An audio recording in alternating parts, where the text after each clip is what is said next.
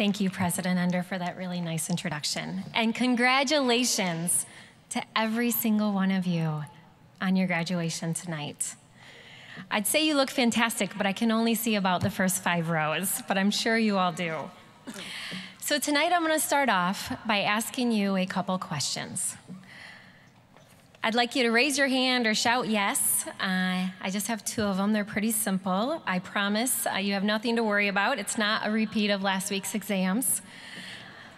All right, are you ready? The first one How many of you got your degree from GRCC with the hope of soon getting a job or getting an even better job than what you already have? Yes, good answer. Next.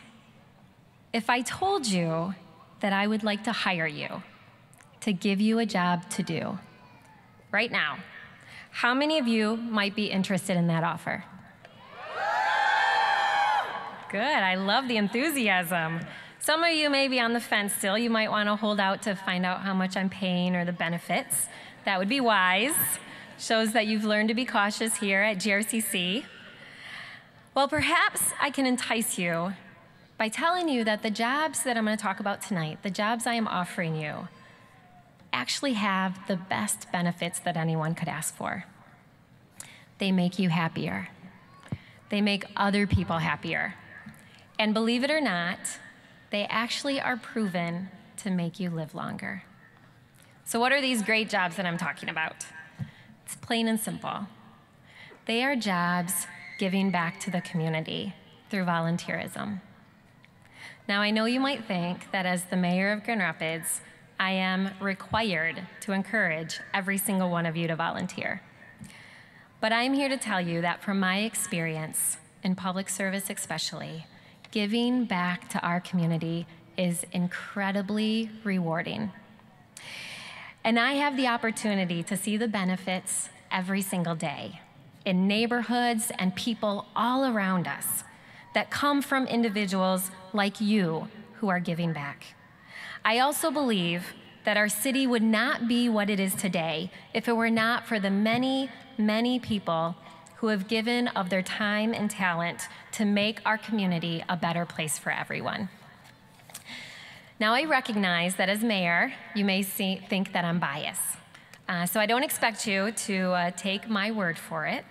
Uh, what I want to do is I want you to hear directly from a few local citizens who until recently were students just like you, who sat in your very seats, students at GRCC. So I'm going to let them help make the case for giving back. Hi, I'm Marissa Roberts, a 2007 GRCC graduate, and I volunteer in the community by writing grants for Grand Rapids classrooms and teachers, like here at North Park Montessori.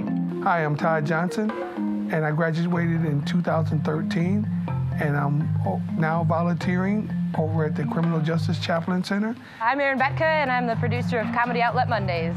I used to work at Blandford School years ago and heard teachers talking excitedly about what they would do if they had unlimited resources to buy school supplies. So I took a grant writing workshop and started writing grants to help get supplies and materials for teachers. It is such a great feeling to watch the smiles on children's faces as they are learning, no matter what your degree is in or what field you go into or what you study.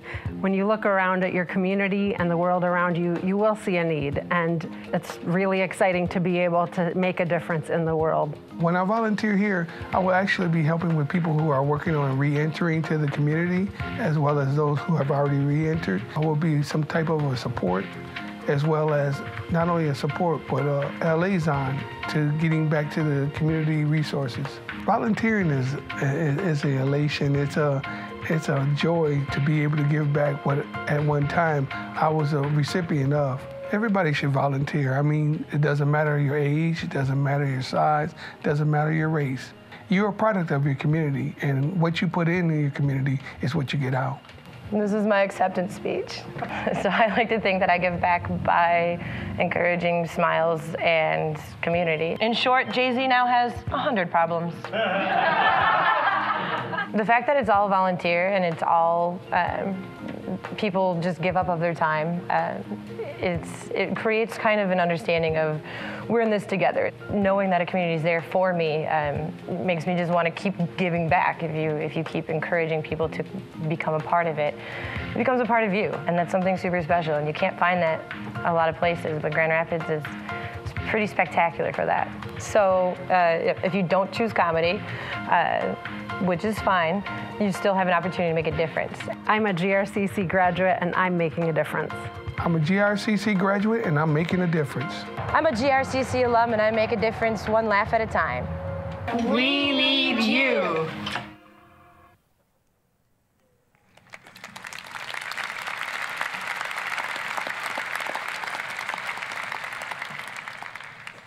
So, if anyone ever doubted the impact that graduates from Grand Rapids Community College have on this community, Marissa, Todd, and Erin show exactly what each of you are capable of.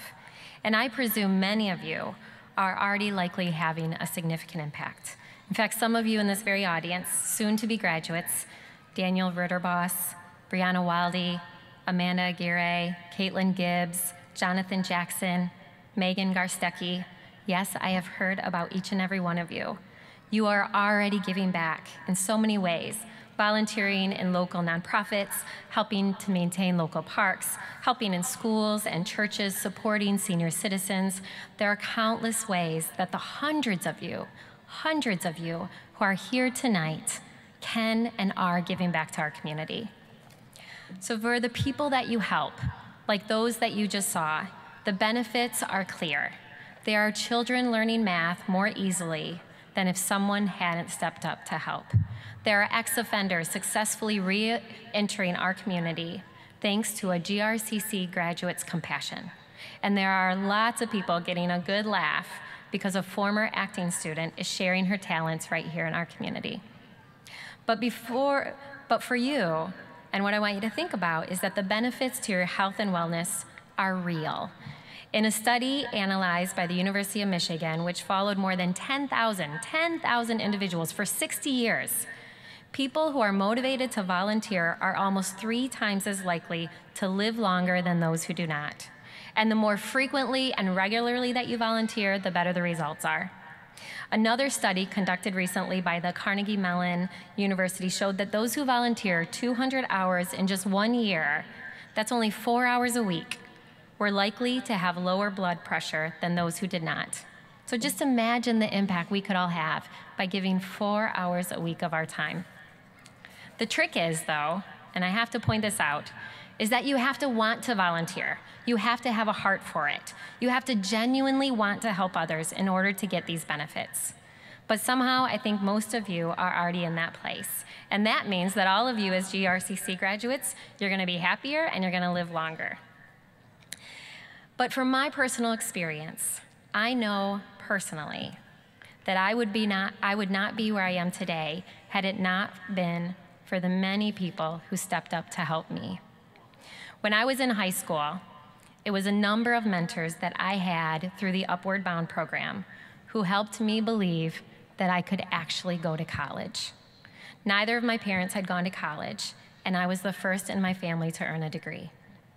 And as a city commissioner and as a mayor, it is volunteers who helped us build playgrounds, helped us build parks, helped us plant trees. And at St. John's, where I work every day, volunteers mentor children. They come in and they teach yoga. They tutor our students who are, who are struggling, and they beautify our campus.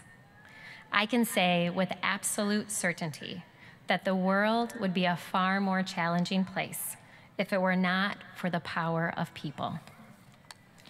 So now that you're ready to go out and make a difference, to be your best, your most altruistic self, where do you go? For starters, you can start right here, right here at GRCC. You can volunteer at Grand Rapids Public Schools, Friends of GR Parks, DA Blodgett at St. John's, where I work. We are always looking for volunteers. You can also go online to volunteermatch.org and choose from hundreds of local organizations that would love to make use of your many talents. Every year, there's an organization called Give Camp that uses the skills of programmers, writers, graphic designers to help nonprofits develop websites for free. The Heart of West Michigan, United Way, they need volunteers. Local clinics, hospitals can make use of your medical skills that you learned right here at GRCC.